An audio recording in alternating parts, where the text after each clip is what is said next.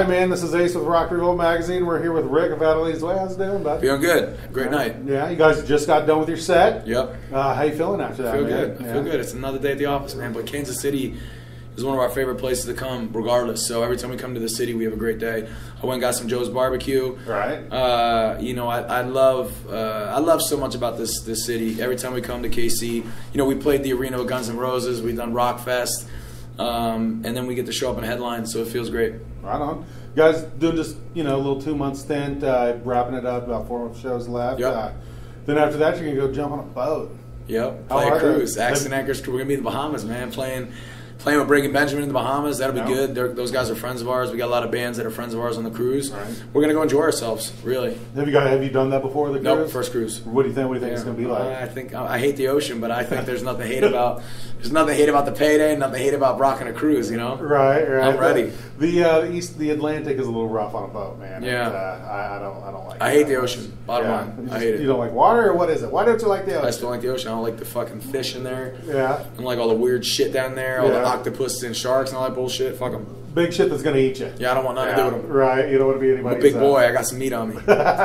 we actually just spoke to a young lady, Gabby Ray, that's going to be on that cruise with you. Oh, cool. Real good chick, man. You'll, you guys will enjoy that. Oh, great. Uh, uh, Wendy Dio is actually her manager. So. Oh, cool. Yeah, so she was she was real nice. She was doing it with Europe. Uh, you guys got a new album coming out. Yep, uh, February 26th, Getaway. Getaway's coming out, and Yeah. you know, I I think we're in an era where people, uh, you know, people can't put so much focus. You know, a, a record coming out's a big deal, but you know, we, we want to release we want to release music. You know, we're going to release music over the next couple years. You know, so Getaways, we're very excited about it, but we're going to follow it up, man. We're gonna, we're going to keep uh, pumping out what songs we think are great. There's a lot of songs on the record that we love, and uh, we're going to keep striving to make more. You know, I think. Uh, we're in an era now where, where people are putting music out faster than ever. You know, you got you got artists like uh, it's not rock and roll, but Beyonce and Drake and these artists they're just dropping material and songs. They're falling in love with things they release, and that's what we do. We write songs. We love the songs we write, so we, want people to hear them, and we want to write a, a variety of songs. You know, we don't want to just keep making the same sounding records. So we're being dangerous. We're, we're taking risks. You know, sometimes people like those risks you take. Sometimes people complain about them. Sometimes you gain new fans off them. Sometimes your old fans are bummed you did it, but at the end of the day, uh, we're looking to expand. We're looking to uh, just get, really, we don't overthink anything. We just play and have fun and enjoy it. Right. Speaking of your older fans, you guys opened with sick. I was like, holy shit, I haven't heard this forever. Yeah. I hadn't heard that song forever, and you just Yeah. guys came out with it. I mean, that's it's kind of like a you know like a hit to the face, man. Yeah, it's great. That's the that goal. song That's the goal to come right out Yeah. and, and come out on fire. And you know, we're blessed, man. We've been around for almost ten years now, so we have, you know, we have quite a few uh, hit songs. And, and I think uh, when you listen to our set, you know. The when, you got to see when we open for someone. If we play 30 minutes, man, it's just like it's just like six number one hits, Yeah. and then we're out of there. So Do you like that though? Do you like I, the it feels opening, good. I do. I, mean, do. But the thing I don't like is there's a lot of you know there's a lot of people that come to our headlining shows and they they're everyone has different songs they want to hear. I want to hear Drive. I want to hear Undivided. I want to hear Dirty Little Thing. I want to hear it Closer. You want to hear these songs and.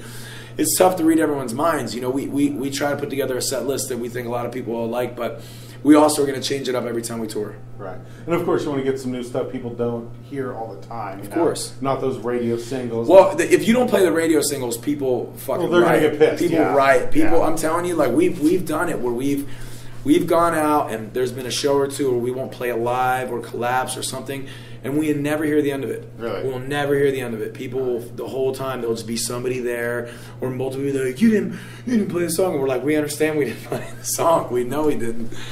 So you can't do that, man. Yeah. You can't do it. You got to play the hits. you got you got to feed the masses. You got to play the hits. Yep. So I mean, okay, you guys have been doing this little tour. Gonna go off the boat. What are you gonna do after that, man? We're being patient, you know. Uh, we really believe we deserve, uh, and I don't mean to say deserve, but we do. You know, we're, we're flying up the rock charts. We have a song that's number 19 right now on our own label. Bad Uh, Reputation. Bad Reputation's Right. 19 on the active rock chart. It's selling a thousand singles a week. It's streaming on Spotify. Everyone's streaming it. It's blowing up, you know. So we want to sit back and, and patiently wait for a relevant tour. Right. And if a relevant tour that we don't like come, doesn't come along, we're just going to continue to headline Right. because. Uh, our headlining tour has been extremely successful. You know, we've just we just did the uh, half the United States on a four week run, and uh, every single house was packed. So you know, it, it really it really feels good to us for all those years to finally be coming together, uh, all the hard work coming together, and, and, and seeing that. You know, Um, and we're just going to keep it rolling. So we really, we really want to open up for someone we like. We've got, we got in a couple instances where we opened up some bands we did not like, and we didn't have good experiences, and we wanted to quit the tour. And I've never quit a tour in my life, you know. Right. But when you're opening up for a band that you just don't have, you don't have respect for as people, you want to get off, you know. And that's why we, we focus on headlining more because a lot of bands are, don't have that band camaraderie, man. We do. When we bring another band on, we embrace them. We treat them good. You know, we've been on the road with just one or two bands who who just think it's a competition constantly. And what can they do? What can they do to fuck us up? You know, what can Really? let, us take their lights away from them. Let's take their sound away from them. Let's take the stage room away from them. Let's not let them sound check. Let's not let them line check. Let's just let's just not give them dread. Let's let them fucking suffer till they get up on stage. And that's just bullshit, man. So shit, so we dealt with that on, on a couple runs ago, and Right. we told ourselves that, that we were going to build something special and that we weren't going to open up for anyone and we didn't want to anymore. So uh, we're going to be patient. That's the future. That's interesting. That somebody, Yeah. because I mean, obviously, I mean, on a tour like that, you know, you know, you guys are getting together and they just want to dick you. That's just not They right. dicked us from the beginning, man, from the pay to everything. They just Really? they, they set the tone for how they were going to treat us. And look, I'll never cross paths with that band again. And they, they you know, they can have a good life. And, and uh, you know, I don't wish nothing. Uh, I wish they were better people. But I mean, other than that, you know, fuck them. And, we won't throw them under the bus, but I mean, who would you like to? Is there anybody you want to tour with? Of you haven't had a course, so many bands. I mean, look, there's there's bands we've already toured with that I like to tour with again. Yeah. You know, Three Days Grace we're great friends Right. with. Uh, Theory of a Deadman we're great friends with. We would like to tour with Nickelback. Everyone says what they say about Nickelback, but Right, they're the butt of know, every joke. Yeah, Yeah. you know, but at the end of the day, when you're playing in front of arenas, we want that. Right. Uh, we want to play with Pearl Jam. You know, we want to play with. Uh, uh, you know, Breaking Benjamin. We want to play with. You know, there's new bands too. We like to play with Royal Blood. You know what I mean? We want to play with. We want to play with bands that we dig and we think are cool, um, and that we get along with. So.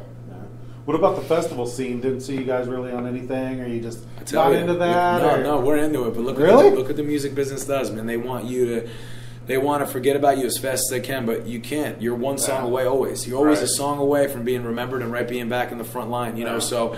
I think you'll see us on all the festivals probably next year. I think it'll have like a reverse effect. You know, it'll have like a we're successful now, so next year we'll be on those. We had nothing going on because we were off writing an album, and and no one rem- no one thought about Adelitas Way, but now we're going to be in everyone's mind. Right on. Do you like that scene? Do you like the Of course I do. Love Love 'em. I mean, They're, they're some of the most energetic. I feed off energy, and when 55,000 people are feeding me energy, it's a beautiful show. Right on. We're one of, we're one of the best live bands in the scene today, man. I, you know, and I truly believe that, and that's why we built the following we built. And I think uh, a festival playing in front of 55,000 people, where we are in our careers right now, all we're going to do is go out there and blow them away.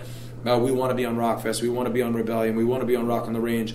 Look, we're, when when people talk about Rock on the Range, uh, the biggest stories they talk about is is when I ran and jumped off the stage and, and was smoking joints in the crowd while I was getting crowd surfed. You know what I mean? So Right. that's in books, man. Yeah. That's gonna last for time. Right. You know, and, and that's memories for people. So we create memories these festivals. Right, That's what it's about. Man. That's what it's about. So when you're tuck all this away, you're winding down. What do you do, man? What do you? How do you get away from this, or do you get away from the music? I'll get away from it. Yeah. You know, I have a family to raise and I have kids and, and I love my kids and I want to be very involved in their lives. So right now is the time where I have to go out there and execute and get it done and, and, and you know, get royalties and get everything for the kids, you know, get set care of the trust up for them, you know, guide them for whatever they want to do with their lives, whatever their dreams they have, whatever they want to do, I want to be able to help facilitate those. And you know, I'm, I'm, I've experienced my dreams. I've lived my dreams, so I'm also humble. I'll do anything. I'll do any job that I have to do to support my family. You know, if one day this comes to an end, and I have to go back to working with my dad, uh, I will gladly, as long as the bills are getting paid and my kids are fed. Uh, you know, I've already lived my dreams. I've already done it. I've already played in front of seventy-five thousand people five, ten times. I've already sold, uh, you know, a million singles. I've already put out four albums on a major label. I put an album out on my own label. You know, so when this is all said and done, I have no regrets. I have nothing to look back on. I won't feel like I missed anything. Uh, the only my objective, my goal is to be a man and to and to, and to support my family. What would working with your dad be?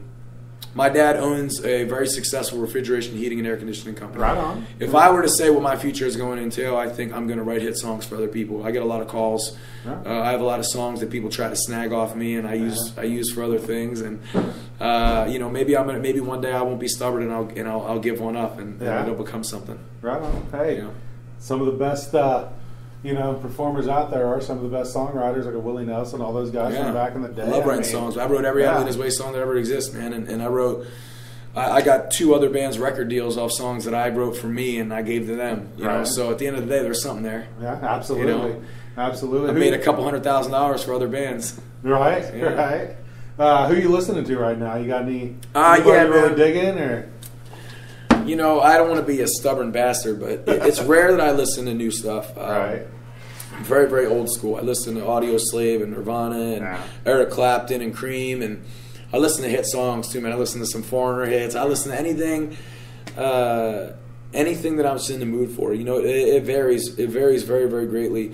Um, you know, there's been I, there's also songs that I cherry pick. You know, there's if I hear a band that puts something nice out that I like, yeah, I'll I'll totally pluck it off and, and I'll check their album out. Or I'll, you know, I'm, I'm I love music as much as anyone else. Right.